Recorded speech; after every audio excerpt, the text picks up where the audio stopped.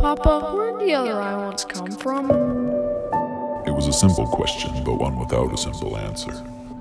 They've always been out there, Mick. Nine other big islands besides ours and Ankar, and most of them, maybe all of them, inhabited.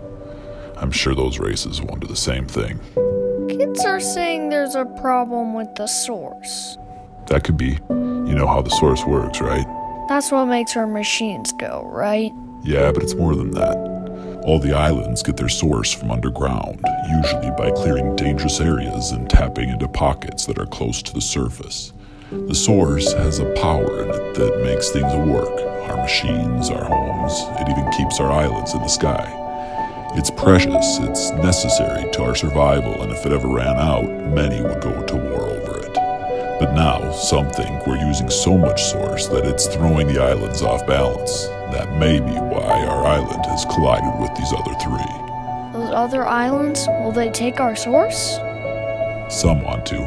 The heirs, the bird like people, they think that their ability to fly gives them the right to rule over Ankar. The Narora, they worship the source, they want to be a part of it. And then there's the grove tenders, caretakers of the source.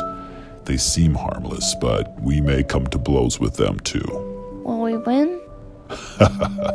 Don't fear, my son. We Brawnen are a mighty race.